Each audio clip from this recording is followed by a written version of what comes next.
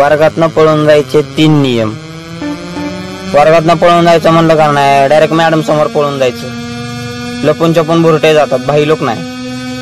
आणि नियम नंबर दोन वर्गातनं पळून गेलं का नाही डायरेक्ट पार्किंगला जमा व्हायचं. पार्किंग इतकी सेफ जागा दुसरी नाही.